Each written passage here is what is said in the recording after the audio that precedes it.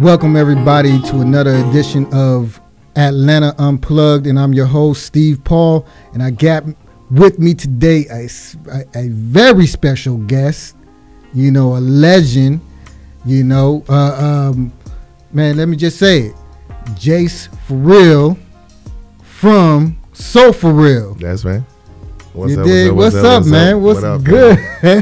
I'm in here. What's yes, good? yes. Legendary status in the building. What's been happening? What's going on? Man, um, just living life, man. Making music, making more music, creating things. You know what I mean? Yeah, yeah, for and real. For thriving, real. surviving. You already? Yeah, yeah, yeah. So, so life been treating you well? Absolutely, absolutely. I can't complain. I won't complain. Good, good, good, man. So you, you know you're still with the music and everything, still pumping out some uh, new content and everything. Absolutely, you can check it out. I'm on Spotify um, or anywhere social media under Jace. No, Jase4Real. Yeah, right. So so you just uh, or, uh, solo artist now, right? Um, well, being independent, I get to focus on what I want to. So um, you know Mm-hmm. Soul4Real, and you know, Jase4Real. So this is what we do. Mm-hmm. Okay, okay. So you do your own work, and you still do work with Soul4Real. Absolutely. Oh man, that's that's that's dope. That's dope. Appreciate it.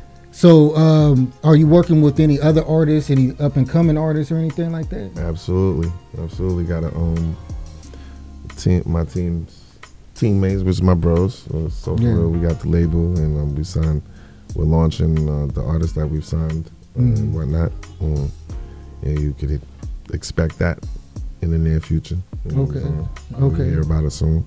Okay. Dope. Dope. Dope. Shout outs to Champion League and the whole camp. Yeah. Yeah. Yeah. Shout out. Shout out. And you are based here in Atlanta now, right? Yep. Been here for a while. Been here for a while, for a while, for a while. Atlanta been treating you good? Yeah, I keep it in the cut. I keep it tucked a little bit. You know what I mean? Yeah, yeah, yeah. I like it out here. It grew on me. Yeah. Been out there for a while. Yeah, yeah. Mm-hmm. Okay, okay. That's dope. Mm-hmm. That's dope. That's dope. So, um, w- w- how how do you feel about? Because you know, we when you was coming in here, you saw another uh, young artist and everything like mm-hmm. that. You know what I mean? And mm-hmm. I'm pretty sure that he he's heard of your music. He heard your music, yeah. but being introduced to you, you know what I mean, because right. the uh, the generation gap right. and everything like that. How right. does that make you feel? Like you know when they when they sit there like like oh you know, uh, uh, they don't recognize you right off the bat, but you know. Um, it makes me kind of realize the power of um, the brand. Mm-hmm. That's that's pretty much it. But um, I don't feel no kind of way. I'm uh, puts me in a position of, um, I guess, teacher. You know, I get to enlighten people. Right, you know, right, You know, without the whole um, separation of like, oh, that's. Yeah. You know what I mean? Yeah. I, I could talk to a motherfucker right now. you know what I'm saying? Uh, that's cool. That's cool, man. Um, so, what do you think the difference is between then and now when it comes to the R and B music? Uh, in the sound, uh, in the business. Mm-hmm. All all of the uh, above, like from, the, from the um, sound, um, from the business. Do you think, think they have been staying intact with the, the the feel of R and B the way it used to be? I think they're trying. You know what I'm saying? I think um, uh, the essence of where we're from will always be in the, the um um what they call them the change in the metamorphosis of the, the music, the whole, mm-hmm. you know. Um, but um, I think we can tap in more to like a few harmonies from where I'm from. You know, yeah, yeah, in my yeah. opinion. Yeah. You know, and that's that's kind of what we do. But um, I I like it honestly. Like um, what I think about it, I, I, I like certain things. Can't please everybody. I don't. Uh, certain things I don't fuck with, but mm-hmm. um, as far as the business just like the sound is um, morphing is exactly what the business side of things is doing as well. You know what I'm saying? So, right, right, yeah. right, right. Now, um, we had a young, uh, I, I, guess, rap artist. Uh, interviewed him earlier, and mm. he labeled his music uh, R&B rap. R&B rap. Rap. I call it. I call it sing rap. Sing rap, right? Rap. and I know when when uh, uh, you came in the game, you know, definitely, you know, that that was my generation coming up and everything. That era was when it was bringing that, you know, hip hop Facts. to the R and B side and So everything. like definitely, that. Soul4Real was definitely one of those groups that introduced um, the mix of hip hop and R and B. You know, Yeah. Candy Rain was um, actually um, a Tribe Called Quest Mhm. um, sample, not Oh, really? sample, but like from that. Um, do do do do. Yeah, yeah. Boom, Oh yeah, yeah, yeah, yeah. hmm back in the days on the boulevard of Linden. You know what I'm saying? so boom, it took Yeah, that from the yeah. hip hop Yeah. and came up with Candy Rain, and it was, it was jumping. Now, do you see the? um Because it, it was almost like y'all was the conception, concept. You know what I mean? And now the birth Mm. of. How do you say it? You know? I think. Go ahead. Uh, I would say the realness of it, like just a more real Mhm. with it. You know what I'm saying? Uh, more tangible, I guess. You could say, you know how stardom could look like. Oh, I, might, I don't. Might as well not even try. I think that's what you're saying. Anyway, um, uh, Yeah, yeah. So yeah, for yeah. real was like the, you know, showed the world that you could do it too. You know what I'm saying? Yeah, yeah, yeah. How Yeah. old were you when you started? Uh, was Soul4Real? Uh, what, 13, 14? Man, you been in the game. You you was in the game, Wow, man. yeah, it's been a while. that don't make me feel so old.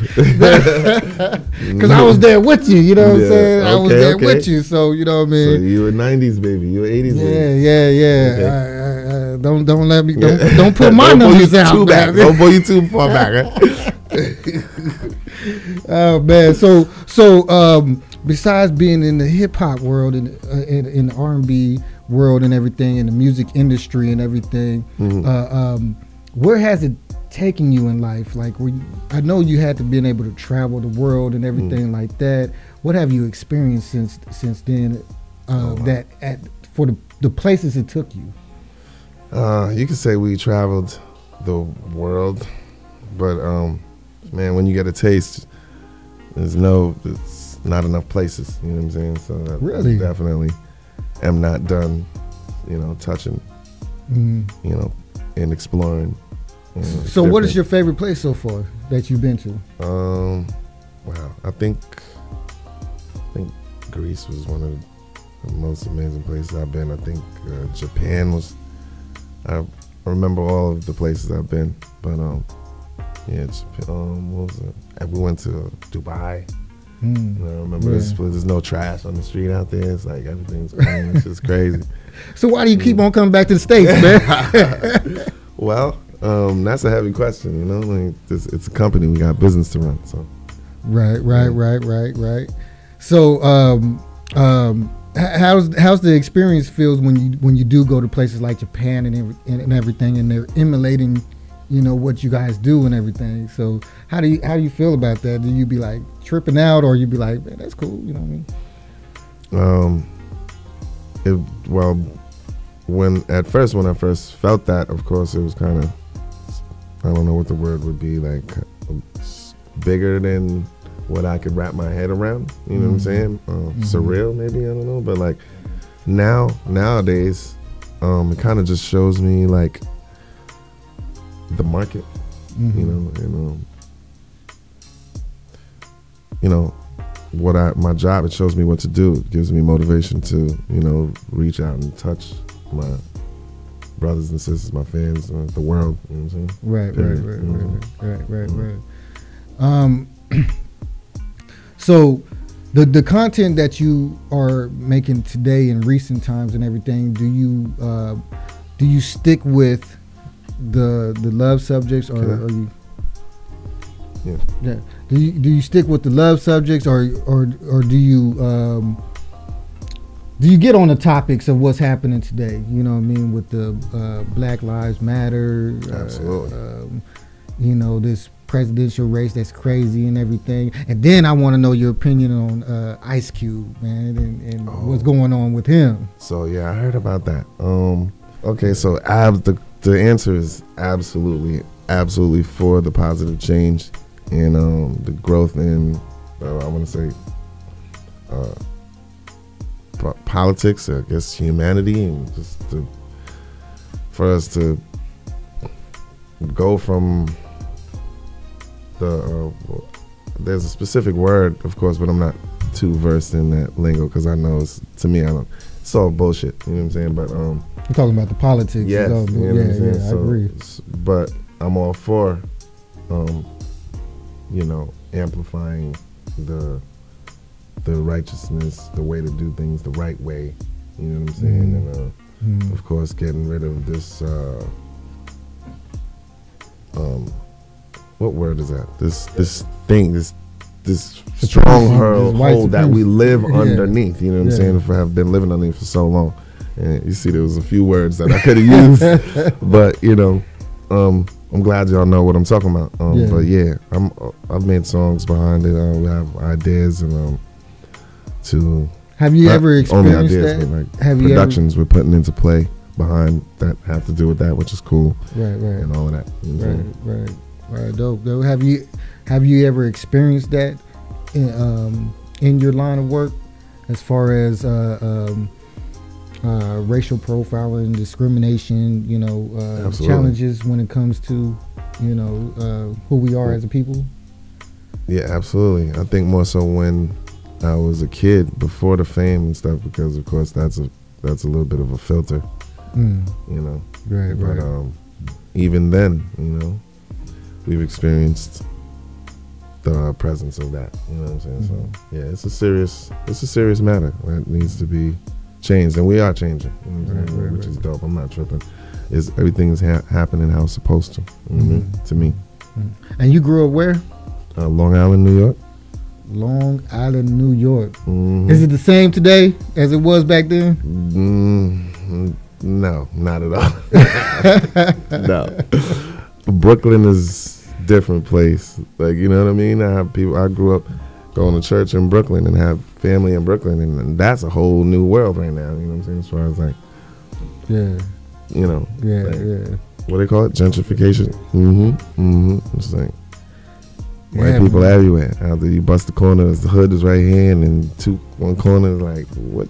Like this is, this is where niggas used to lay down at right here. You know what I'm saying? Right. Right, right, right.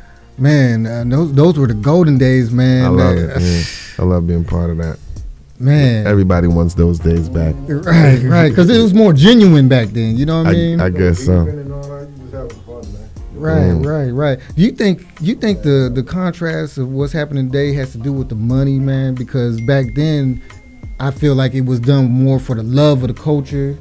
Or, or building a new culture because it wasn't like you know it wasn't That's something that was already you know industry established and, Yeah, you and tapped everything in. was coming up You know what I tapped in. It to me that time frame was just bringing in the whole digital age of what it is is going on right now. Like you know when in when I grew up, nineties, mean? yeah what ten years after the, the crack age when crack hit the streets. Yeah. you already know it is like that. It was a whole different world with Reagan.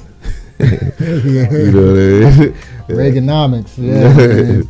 yeah, man. Uh, um, those those times, man. You had you had uh, the worst of times that brought out the best. best. You know, what I'm Mhm. saying? Say that. the best, man. Mhm.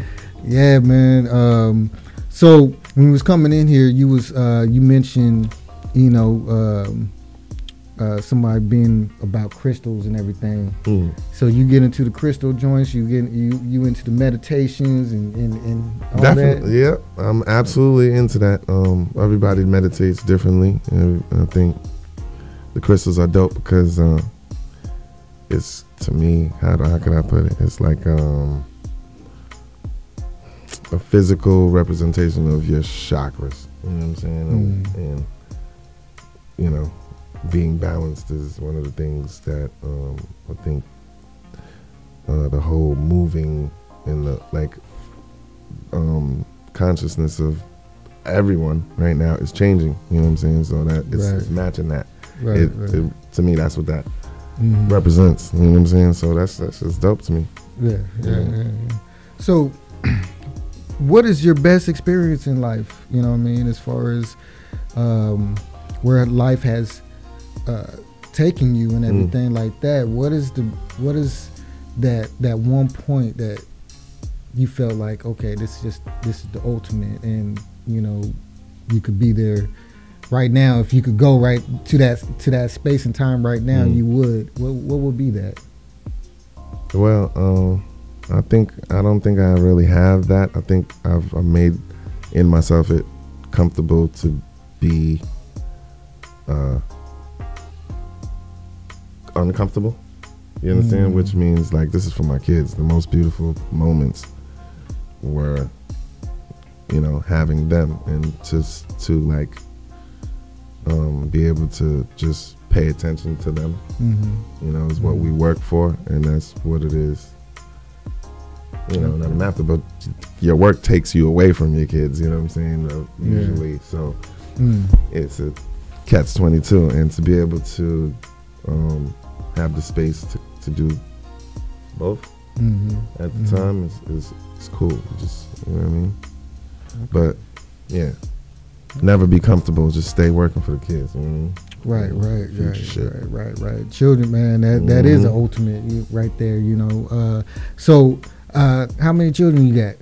Wow, four little devils.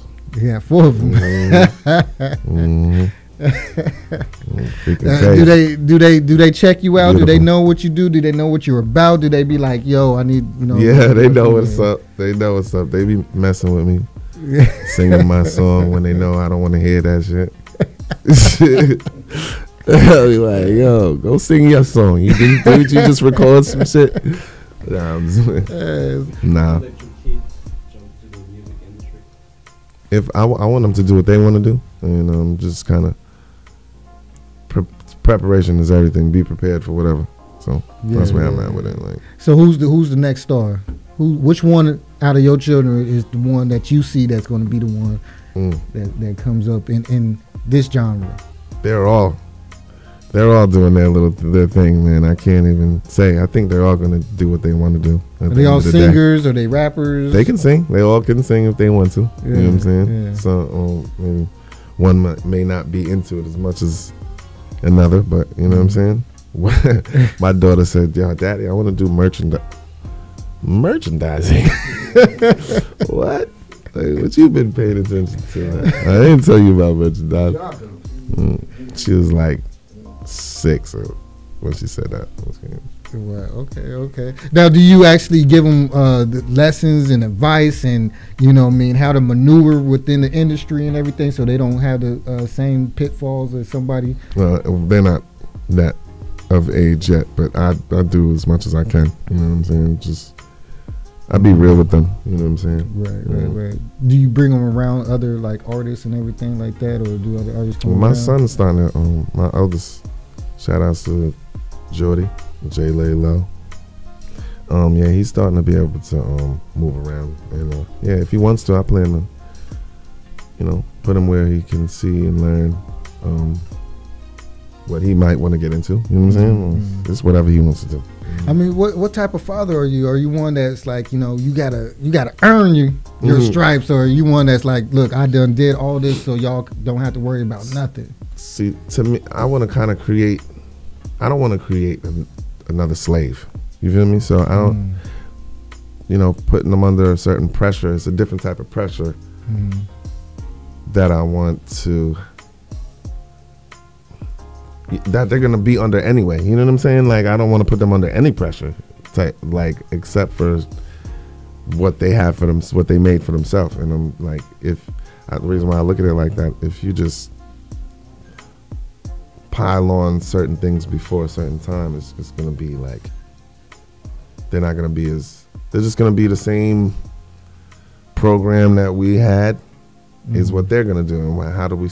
We're breaking generational curses. Is the key? Is what it is Right, we're trying to do here? So Right. like, why teach them in the same way you were taught? You know what I mean? Give them the space to make mistakes and learn for themselves. You know what I'm saying? Right, right, right. That's what type right. of, sort of uh, Mm. parent I am.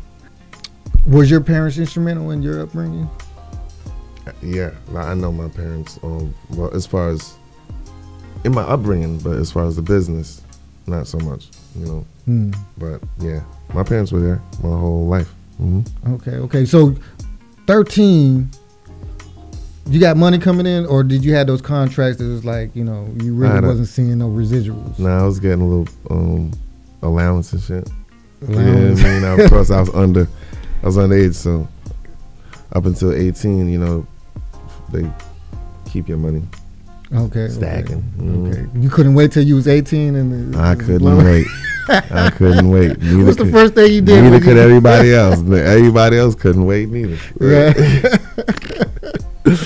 What was the first thing you I- did when you turned 18 and you was like, okay, I got my pockets right now? You know what I mean? Yeah. Was I put some money into re- the house um, renovations. I got a car.